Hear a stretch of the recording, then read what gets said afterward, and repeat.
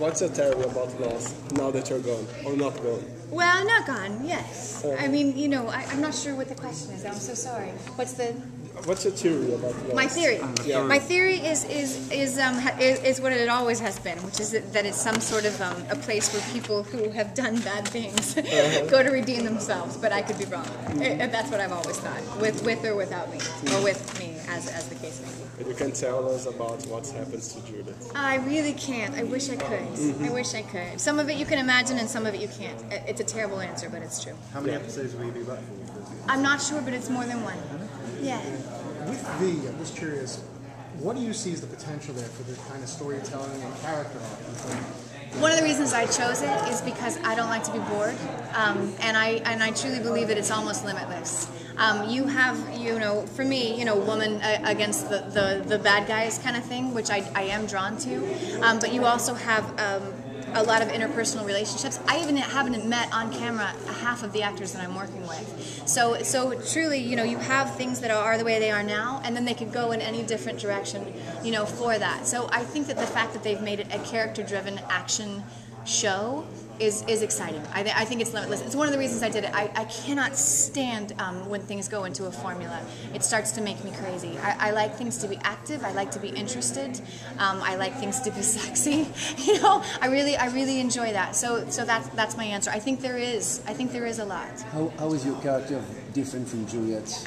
Um, you know, I always say, and, and it's something that I, I didn't even realize until I actually said it, which happens all the time, but Juliet has, you know, the weight of the world on her shoulders. She spent three years basically being tortured. She is someone who is shell shocked yet still you know crawls you know runs strides through life continues to push through.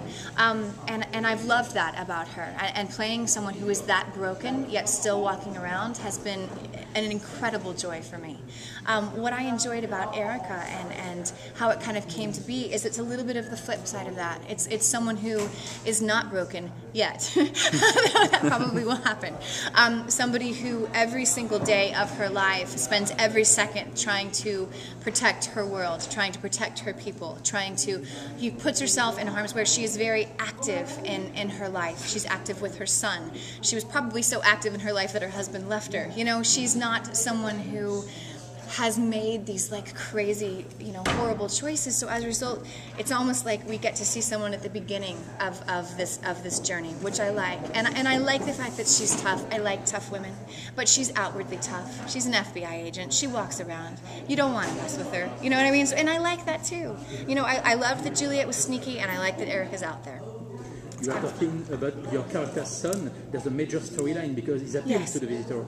Yes, um, he's fallen in love with the visitors, um, and who who wouldn't? Do you know they're coming here? They're they're curing diseases. They're they're beautiful. They're peaceful. Do you know what I mean? All of these things that we we crave and we want so much, they're going to just hand to us. You know, anyone you ever loved who who is who is who's died or, or is dying or who is sick, they're going to make all that better. They're going to take away all our pain.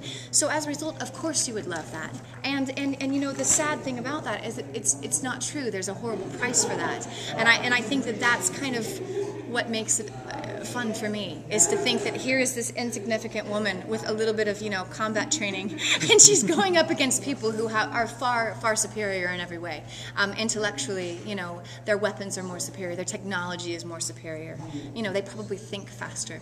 they definitely move faster. So you're talking about insignificance up against a greater. I think it's neat. How did you know the, the, the original show and what is uh, saved from the, the, the original uh, to this one? I don't know what it's going to be. I know they're going to try and take the most iconic moments and make sure that they do service to them. That's that's what I've heard. I think that all the moments that we, you know, or I was a teenager went, oh my God, those will probably be in there. Although I've heard that Morena said maybe she won't be eating a guinea pig, and I think they said maybe you will. So I'm not sure. And did you know it? Did you watch it? I did. Yeah? I did. Yeah, I really loved it. You know, I, I used to sit at night and watch television with my parents, and um, and that was one of the shows that we watched, and and that's kind of fun for me. I like the idea of teenagers and their parents sitting around watching this. You can have a great debate on, on good versus evil. So did you say some stuff to Last remind question, guys, we gotta play go.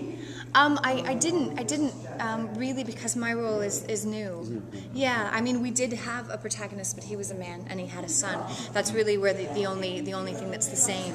Um, but I, I, I definitely loved that feeling of you will do anything to protect your son, and I believe that was that's what carries over for me. What was your question? Last question. What impact do you think the, the relationship with Alan Tudyk having degenerated into what it did in the pilot? What impact will that have on your character? That's part of what I was saying about that, which I love that you asked. Is part of what I'm saying about the deconstruction of the character. Do you know what I mean? I'm, she's starting in a place where yes, her husband left her. Yes, she does this, but she's still a relatively active person. That's gonna rock her. It's gonna rock her to some degree. We'll just have to see how she handles it. I mean, I think that the way that it looked like it was set up is that he was the only person she trusted. He was the only person in her life. Everyone else had kind of you know gone, and she's still just going for it. And now that he's gone, I, I don't know. It's gonna be really interesting. I, she may be angrier. She may be bitter. Maybe not. Bitter, bitter's hard to play. Thank you.